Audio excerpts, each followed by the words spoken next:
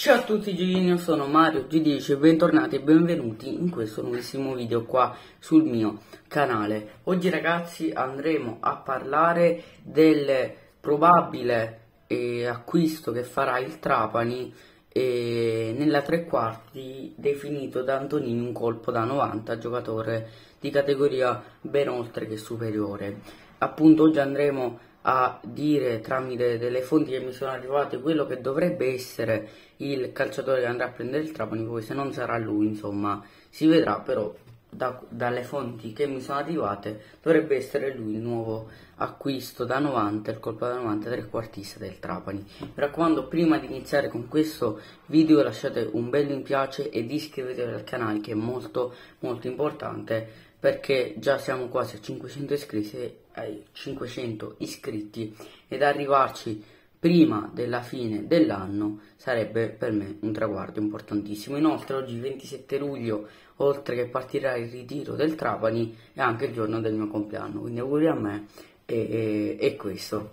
Andiamo subito a svelare il nome che potrebbe essere appunto l'acquisto del Trapani sulla tre quarti il nome dovrebbe essere Oliver Craglio, nato il 12 maggio del 90, quindi a 33 anni, luogo di nascita Wolfsburg in Germania, altezza 1,79, posizione centrocampista di sinistra. Quest'anno ha giocato al Messina nel girone C di Serie C e, ed è rosa appunto dall'11 gennaio del 2023. Il suo valore è, si aggira attorno ai 350.000 euro diciamo ha più ruoli, diciamo può giocare o centrocampista di sinistra o centrocampista proprio centrale, può fare anche il trequartista e può giocare addirittura anche terzino sinistro, quindi per farvi capire tutti i ruoli che può fare.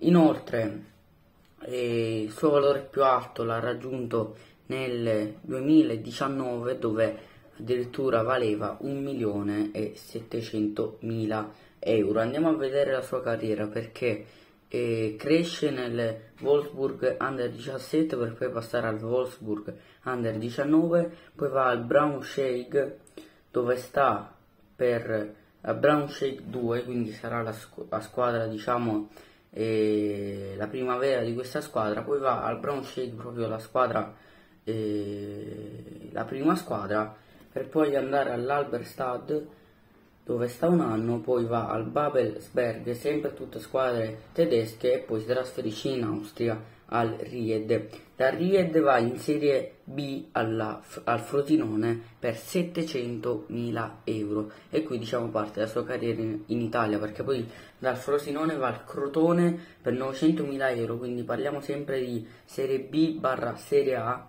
Poi dal Crotone se ne va al Foggia per 800.000 euro e dal Foggia ritorna al Crotone per 1.300.000 euro. Poi dal Crotone va di nuovo al Foggia sempre per 1.300.000 euro. Diciamo c'era, c'era stato un prestito tra Foggia e Crotone e poi se ne va a titolo definitivo dal Foggia al Benevento eh, nella stagione 19-20 dove c'era il Trapani in Serie B eh, il Benevento che arrivò primo in Serie B quella stagione c'era lui appunto che arrivò in Serie A dalla Serie B assieme al Benevento che si trasferì eh, per 1.500.000 euro.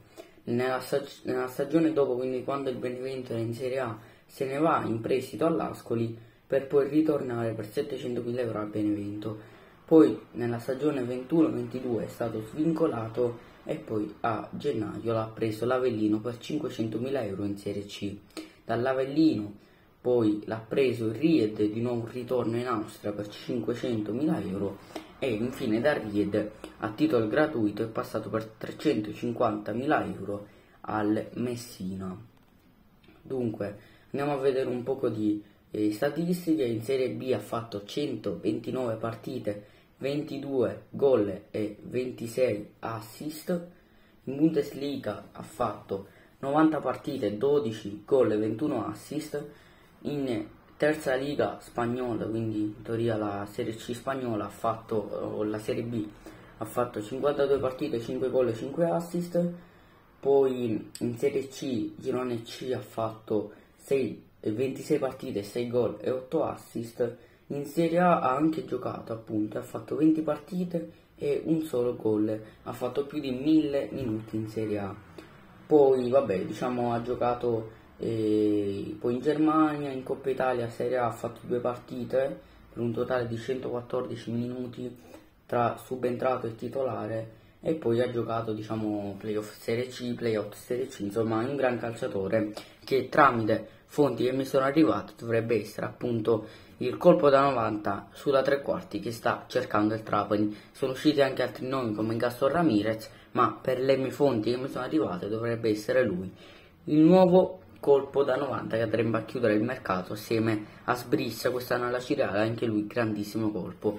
Io ragazzi spero che questo video vi sia piaciuto, vi raccomando se fosse così lasciate un bel mi piace ed iscrivetevi al canale, mi raccomando condividete questo video per far sempre più conoscere il mio canale arriviamo entro fine anno a 500 iscritti per, cioè, per eh, così che io porti sempre più nuovi contenuti e sempre più interessanti. Ci vediamo ad un prossimo video.